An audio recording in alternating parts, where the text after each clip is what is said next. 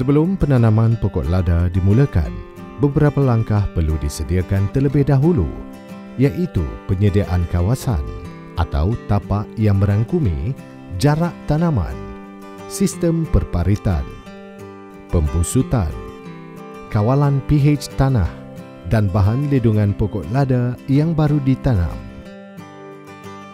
Jarak penanaman yang betul perlu dititik beratkan. Sekiranya penanaman terlalu rapat daripada ukuran yang disyorkan, perkembangan tanaman akan terjejas serta menyukarkan kerja-kerja penyelenggaraan di kebun. Jarak penanaman yang disyorkan ialah 7 kali 7 kaki bagi kawasan cerun dan 6 kali 8 kaki bagi kawasan datar. Kayu keras seperti belian atau selangan batu dengan saiz 3 kali 3 inci atau lebih setinggi 10 hingga 12 kaki di mana dua kaki di bawah paras tanah boleh digunakan sebagai tiang sokongan.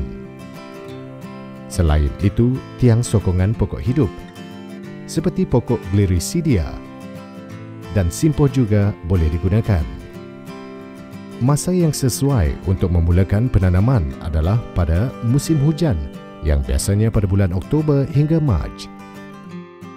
Semasa penyediaan tapak, gemburkan tanah berukuran 20 inci lebar di sekeliling tapak tanaman untuk memudahkan akar pokok menjala ke dalam tanah nanti. Kemudian, taburkan dolomite sebanyak 1 kg dan biarkannya selama 3 hingga 4 minggu untuk merendah atau membuang kemasaman tanah supaya baja mudah diserap oleh akar pokok lada. Setelah 3 ke 4 minggu dolomite ditabur, keratan pokok lada sudah boleh mula ditanam. Untuk menanam anak benih keratan lada di kebun bertanah rata, sediakan lubang terlebih dahulu dan letakkan keratan pada kecondongan 20 hingga 35 darjah ke arah tiang sokongan.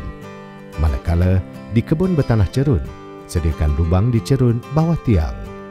Kecondongan ini membantu supaya akar keratan lada tumbuh dengan sempurna serta memudahkan pucuk terminal menjala ke tiang sokongan apabila membesar nanti. Bagi penanaman keratan lima buku, tanamkan tiga buku terbawah di dalam tanah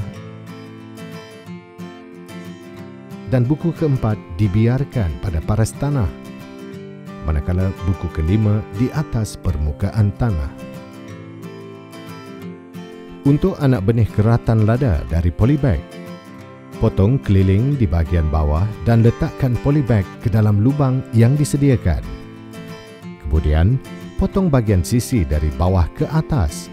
Pisahkan atau tanggalkan polybag. Condongkan anak benih sebanyak 45 darjah ke arah tiang sokongan dan timbus semula lubang tadi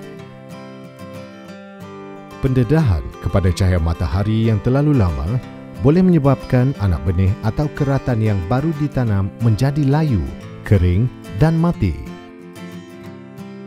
Oleh itu, keratan yang baru ditanam perlu diberi lindungan dalam tempoh 3 hingga 5 bulan pertama menggunakan lindungan seperti nilon hitam 60 hingga 70% telus cahaya.